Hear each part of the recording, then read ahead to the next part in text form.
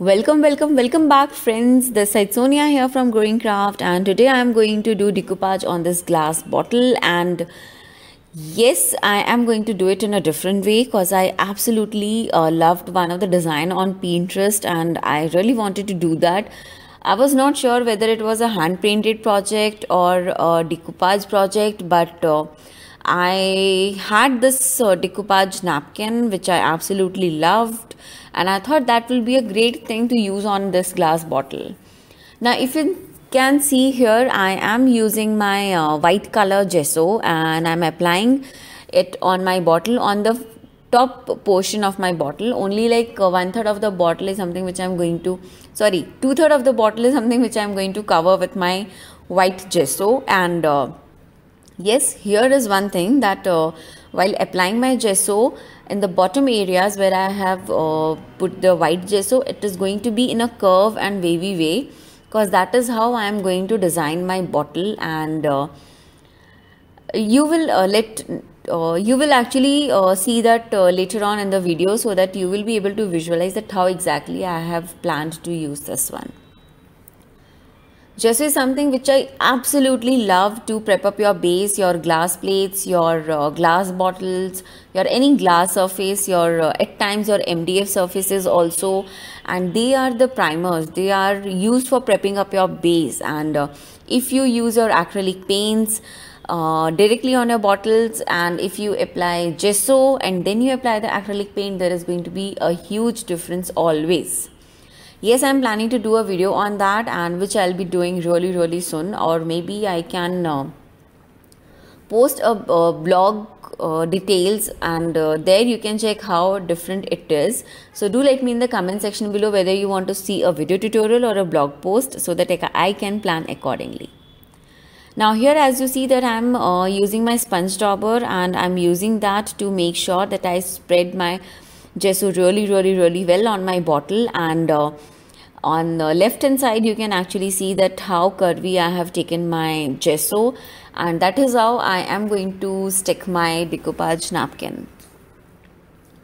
Now my first layer of color is done and uh, I need to add second layer of my gesso. This is really important because I personally feel that whenever you're uh, doing your decoupage, if your base color is uh, even then the decoupage napkin pops out really really well. And uh, that is something which we are highlighting. Decoupage napkins are the core ingredient of uh, uh, this uh, artwork. So that's the reason i feel that prepping up your base prepping up your uh, base with the perfect color is really really really important.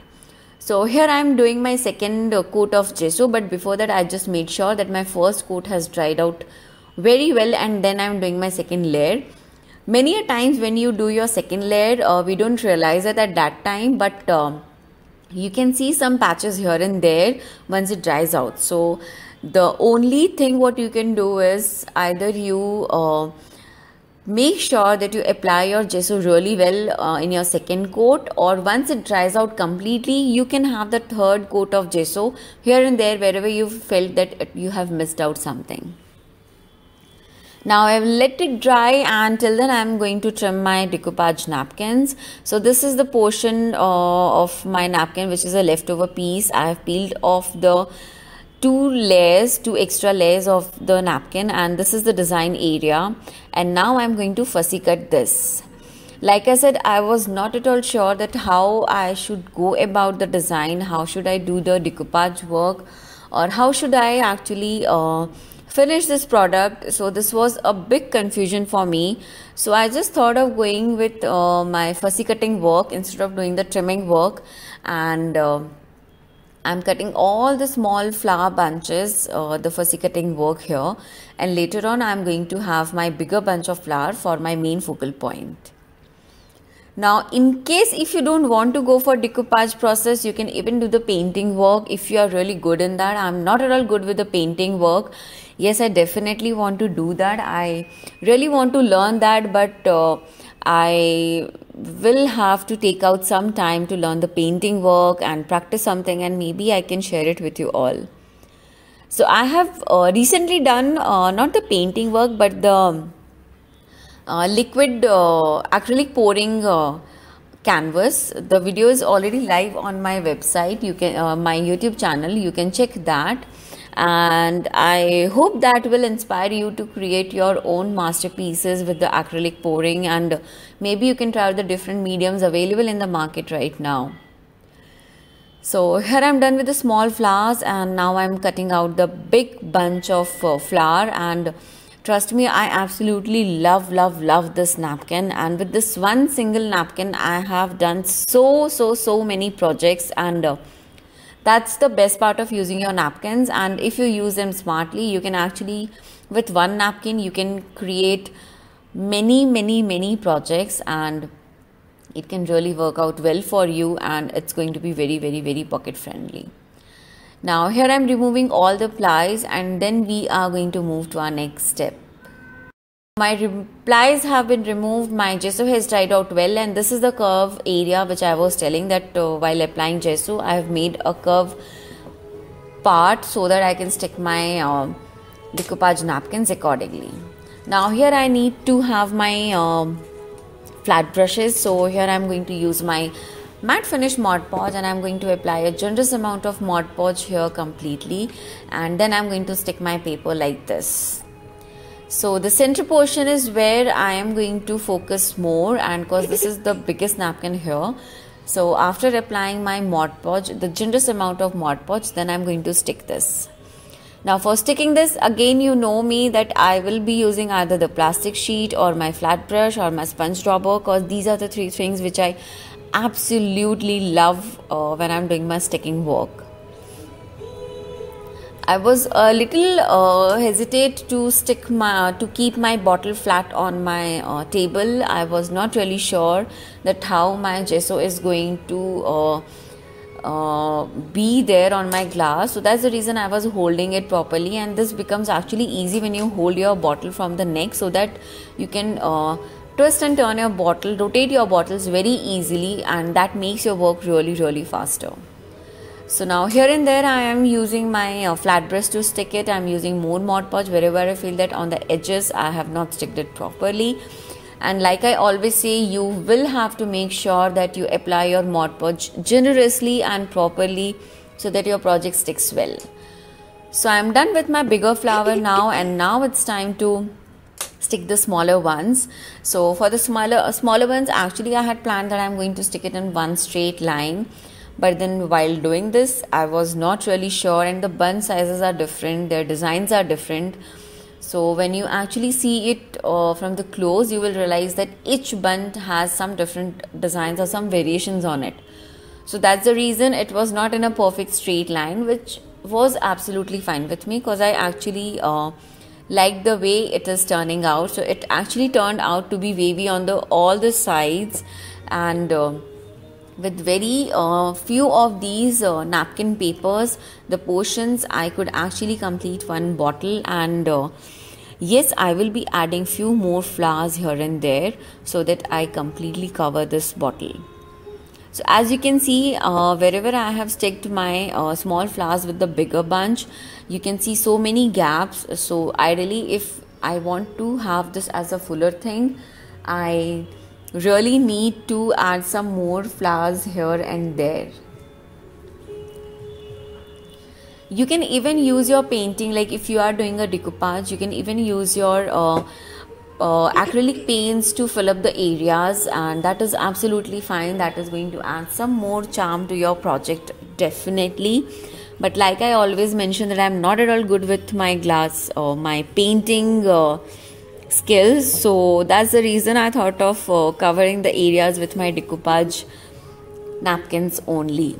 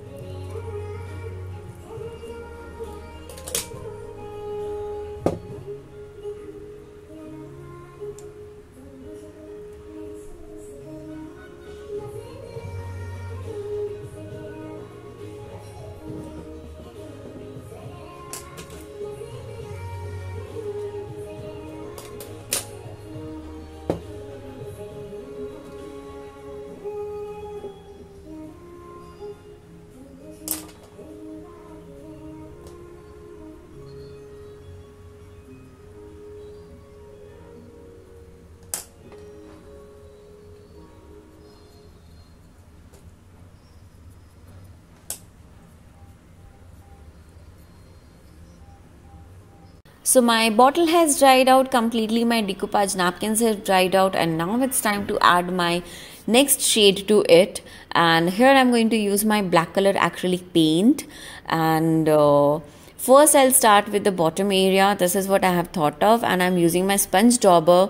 This is the smallest sponge dauber which I'm using for uh, applying my black color acrylic paint. And uh, the reason why I'm using my sponge dauber is because uh, so that it does not have any lines or grains or marks here and there.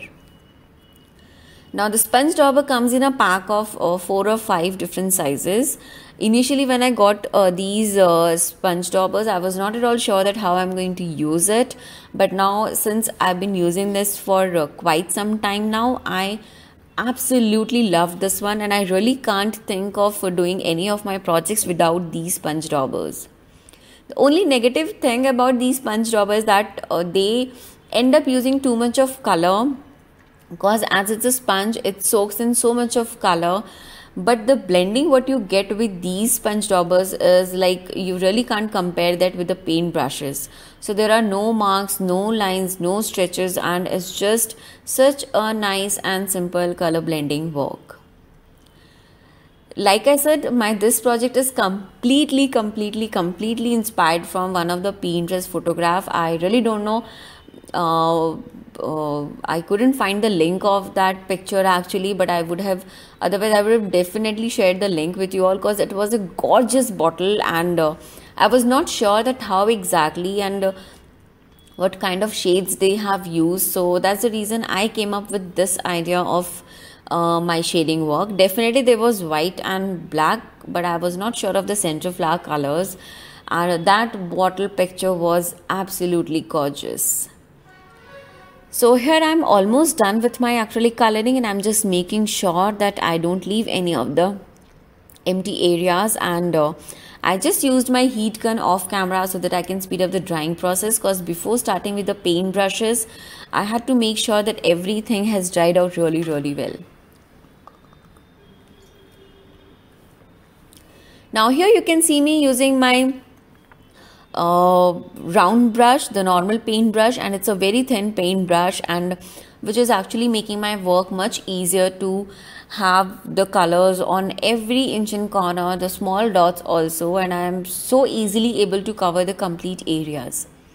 So this was a super fun project and uh, I actually feel that doing a bit of painting work coloring work be it the uh, stamping work these are actually such a relaxing process. These are such an um, so uh, therapic kind of processes which actually take you to some other world where you don't have any uh, thoughts in your mind. You just are so involved with your coloring. You are so involved with your work that you absolutely enjoy this. I absolutely love love love doing doing these kind of work now if I want to uh, tell you a little more about this design so I'm just trying to make sure that uh, the black color looks like uh, on the black color I have stick the decoupage napkin. So that's the reason I'm just overlapping the colors wherever I see extra white color of my gesso and my uh, decoupage napkin. So but you need to make sure that before you do this step your complete project has dried out really really really well. Many times i have been asked that uh, when i'm doing my project the video timing is either too small or at times it's too large. Like how much time does it make uh, take for me to complete one project? So honestly there are too many things when going on when you are actually doing a project. So usually it takes me around 2 to 3 hours to do one complete project if i uh, also consider some of the time when i really need to sit and do some changes or when i'm not able to decide the exact design. And uh, like for this one even for this project my design thing was completely uh, finalized. I knew that how i have to do it because i had seen that in the on pinterest. I was really inspired that by that project. But still there was too much of work cutting the decoupage napkins then uh, doing your gesso work two three coats of gesso letting it dry completely then your black paint then uh, letting your Mod Podge dry out completely. So it takes time but you have to have patience and the end product is going to be completely worth it. Now since I'm done with my uh, detailed coloring of black color I just felt that I should add one more coat of black color to it.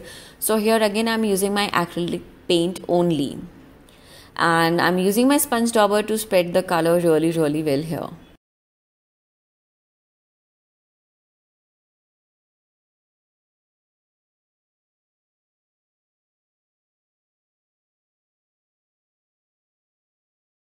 So my bottle has dried out completely and it's looking absolutely absolutely gorgeous and now it's time to add up my varnish.